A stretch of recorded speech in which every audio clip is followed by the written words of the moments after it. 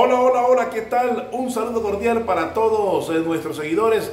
Feliz amanecer hoy viernes 29 de diciembre, ya en la recta final de esta temporada 2023 que sin duda ha sido bastante movida ya en la ciudad de Barranquilla. Agradecerle a todas las personas, a todas las personas que en, la ciudad de Cincelejo tuvieron la oportunidad de eh, ser eh, muy hospitalarios con nosotros, especialmente a don Jesús Alberto Loaiza, a su empresa JM, eh, con la intención de querer ayudarnos a crecer en este mundo del YouTube Amanecimos ya sobrepasando la, la línea de los 10.000 eh, seguidores y esto sigue creciendo. A Fabián, a José Loaiza, a todas las personas que en Cincelejo tuvieron la oportunidad de capacitarnos y de seguir eh, manteniendo esta lucha en el mundo del YouTube.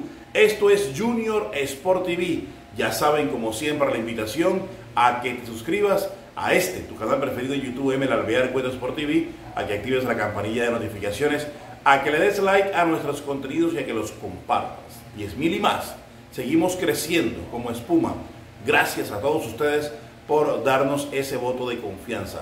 Bastante eh, movida la jornada en el mundo rojiblanco que finalizó en esta madrugada con la llegada de Jimmy Chará y que sin duda eh, generó gran expectativa, inclusive todas las personas que estaban en el aeropuerto internacional Ernesto Cortizos se mostraron muy felices con la llegada de Predator, como bien le dicen a Jimmy, y junto a él su empresario Carlos Calero, todas las personas que eh, a partir de este momento comienzan también a creer firmemente en que la temporada 2024 dará mucho de qué hablar. Ya ha confirmado lo de Hinojosa, ya ha confirmado lo de el señor Cantillo, lo de Marco Pérez, 13 refuerzos oficialmente ya presentados por el equipo rojo y blanco. Eh, eh, a la espera ya lo de Brian Castrillón, que debe eh, en cualquier momento, según palabras de Don Fuat, hacerse oficialmente por parte del Club Tiburón.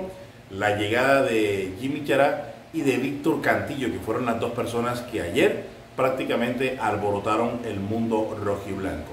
Vamos eh, a ver inicialmente cómo fue el arribo de Chará a la ciudad de Barranquilla. El abrazo a nuestros amigos del ámbito juniorista eh, que gentilmente nos han permitido eh, a través de nuestro canal de YouTube tener la posibilidad de replicar el trabajo que muy bien hicieron durante toda la noche en cabeza de Richard Martínez, de Leonardo Cepeda, de Juan Carlos Rocha de El Bordillo Rojiblanco.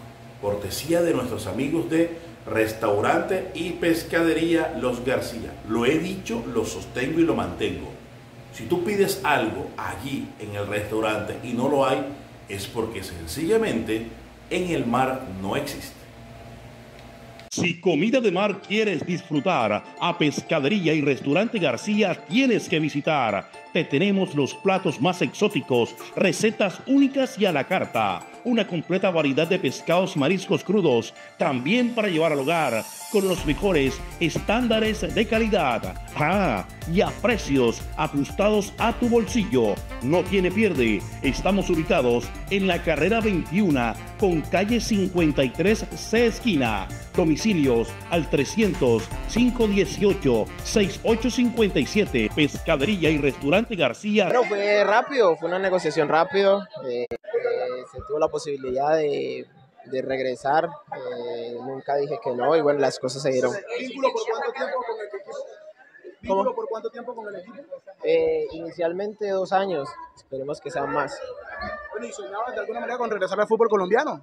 Sí, claro, eh, uno siempre regresa o quiere regresar al, al fútbol colombiano, es una gran plaza, uno como colombiano quiere... quiere...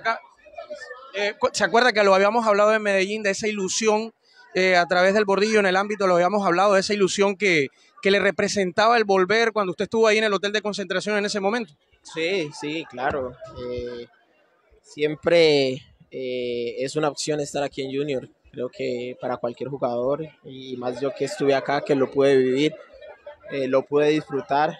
Eh, esperemos que las cosas salgan bien mañana. Parte de ese momento se dio ahí en el hotel, justamente cuando fue a acompañar a los, a los muchachos previo a la final. ¿Hubo algún acercamiento, algún momento? Y ahora sí se puede contar, obviamente, ¿no? No, no, no. Eh, fui solo a desearles que tuvieran un buen partido, que, que pudieran eh, ganar la, la final y, y tuve una, una, conversación linda con el profe.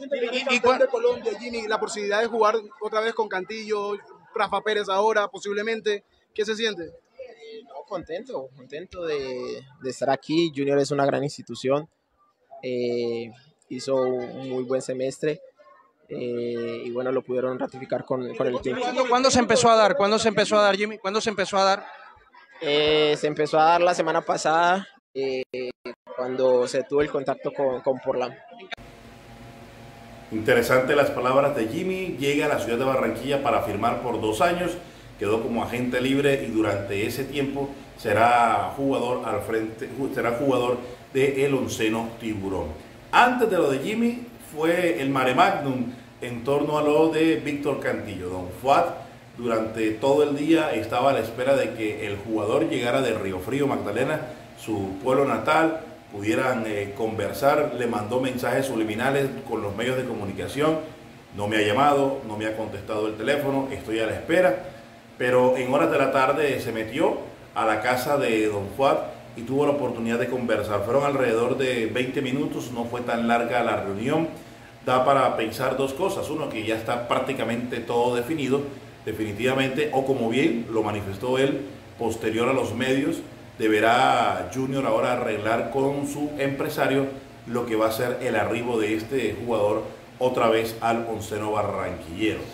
No con tanta, digamos, eh, o más bien con mucha expectativa, a diferencia de la primera vez, donde procedía del Deportivo Pasto y que llegaba en silencio. Hizo historia en la ciudad de Barranquilla, fue campeón en esa época magistral del onceno barranquillero y ahora después de su paso por el fútbol de brasilero con el Corinthians se hablaba mucho tiempo atrás de otra vez repatriarlo pero en estos momentos cuando ya no tiene contrato con el equipo brasilero nuevamente aterriza a la ciudad de Barranquilla. Ojalá para estar por mucho tiempo y que también se brinde la posibilidad de que él más adelante porque es un jugador muy joven vuelva a tener mercado en el exterior. Así habló Víctor Cantillo, gracias a nuestros amigos también del diario El Heraldo que han estado al pie del cañón, al pie de la jugada con todo este tema de los refuerzos del equipo barranquillero.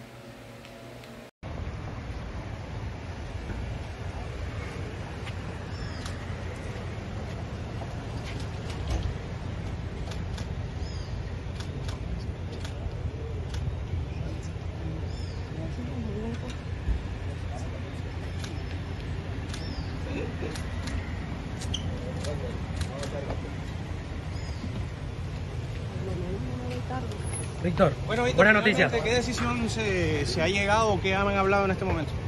No, no, estamos conversando un poquito. Eh, hola, hola. El deseo de, de, de, yo venir, de ellos traerme, pero no, no hemos concretado nada todavía. Ellos tienen que conversar con mi empresario y ahí llegar a un acuerdo. ¿Todavía falta mucho más en la negociación? ¿Todavía falta mucho más en la negociación? Bien, eh, siempre soy bien recibido por, por los jefes aquí y bueno, esperemos todo se pueda dar. ¿Falta más en la negociación? ¿Falta más? Sí, sí, creo que va a demorar un poquito. Ellos quedaron de conversar con mi empresario más tarde y, y esperar a, a, que se, se llega. Hoy viernes 29 de diciembre hay mucha expectativa.